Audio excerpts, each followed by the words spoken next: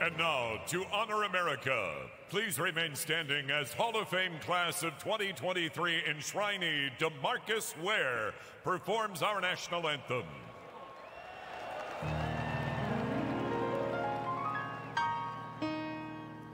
Oh, say, can you see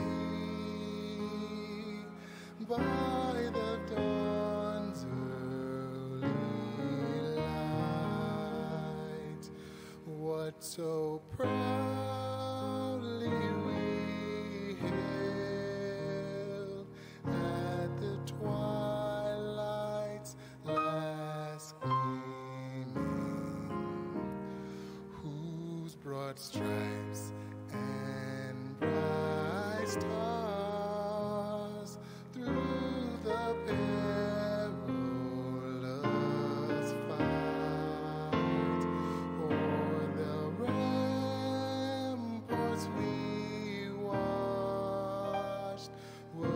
okay.